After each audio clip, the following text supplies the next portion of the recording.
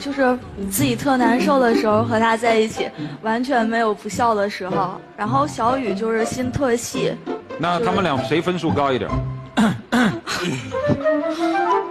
那我就不说了。没事你告诉我就可以了。其实都特别好，真的。有这么两个男生，六年以来这么对你，你作何感受啊？因为我们认识的时间太长了，十多年了，就是有记忆开始就有他们。然后我说我有男朋友这件事儿就没再提过，就是刚刚我才知道，到现在还喜欢我。你们俩当他在向你们诉苦，说自己跟前男友闹矛盾的时候，你们俩在安慰他的时候，内心作何感想？小智先回答。我，我就让他开心。快乐，他难受了，不管是我难不难受，首先一点，他得比我开心，他得比我快乐，他得比我幸福。不管跟谁在一起，他比我幸福，这是一定的。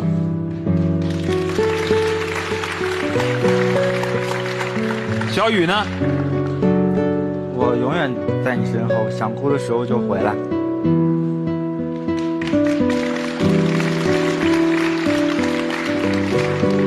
你们俩先帮他把眼泪擦干了吧，还要轮到我动手吗？你擦哪只眼？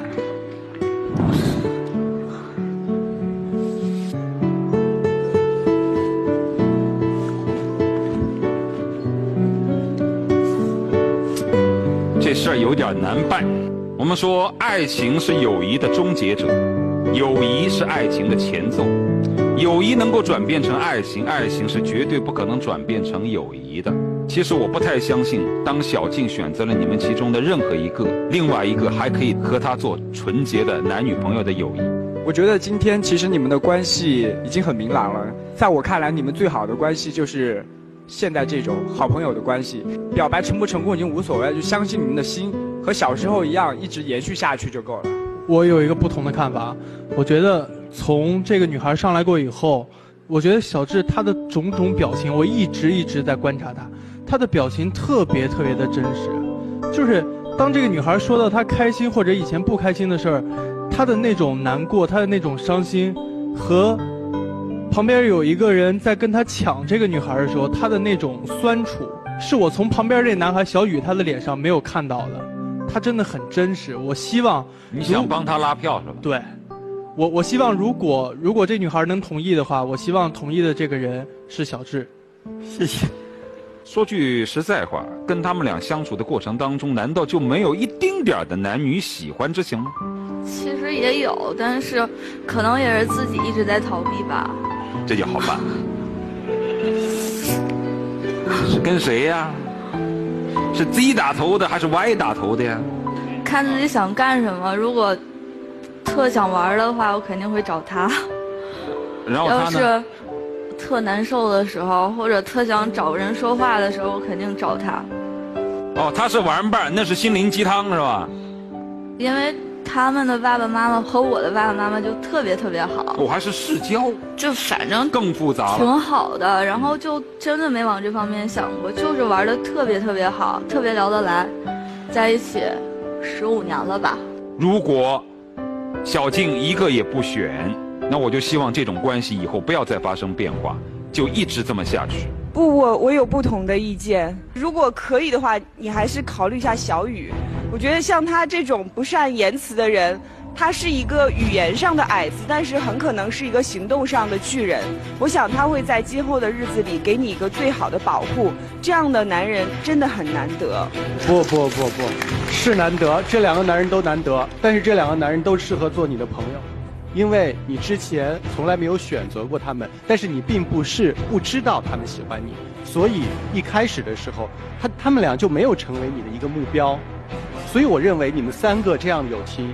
应该天荒地老，继续下去。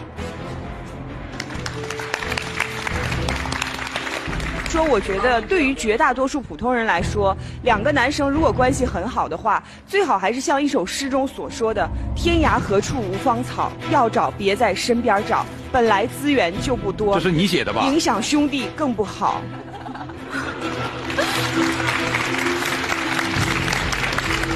如果小静。没有选你们当中的任何一个。如果她将来又有了男朋友，我希望你们之间不要走得太近，不要像刚才那样手挽手擦眼泪，因为那对她的男朋友来说是不尊重。因为扪心自问，你们任何一个人成为了她男朋友，你都不希望她和另外一个男性走得太近。每个人要做好自己角色的本分，朋友只是在精神上互相安慰，却不可有太多的亲近。男朋友就是男朋友，这是没有办法的，一定要做清楚，好不好？接下来是小智和小雨的告白时间。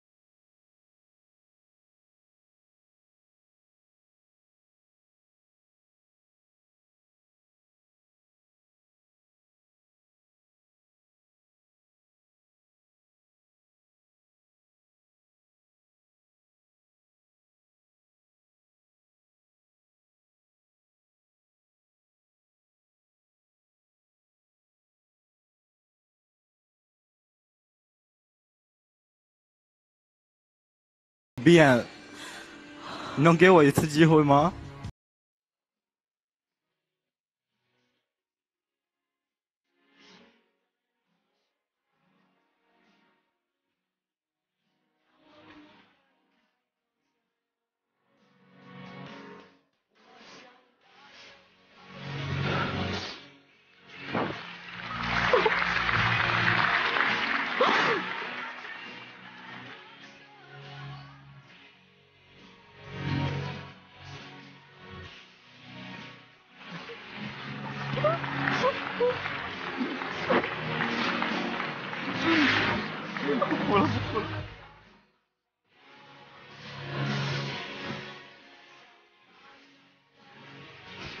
真的从来没想到咱们会站在这里，你会在这儿跟我说这些事儿，真的对不起。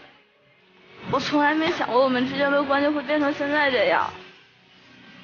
我觉得我们认识十五年了，从这么高 到这么高，一起经历的事儿，我在这说上三天三夜我也说不完。我真的没想过在你们两个中间选择一个谁。你们两个是我这辈子最重要的人，真的，我不想离开你们之间任何一个人，因为太了解彼此了。我觉得可能更好的关系应该是朋友吧，可能真的你们太好了，我拿你们当恋人真的太可惜了。我怕有一天我守不住，你们两个就都不在我身边了。听你们说这么些，还有刚才因为我打起来，我觉得好对不起你们，我不想让咱们三个这么长。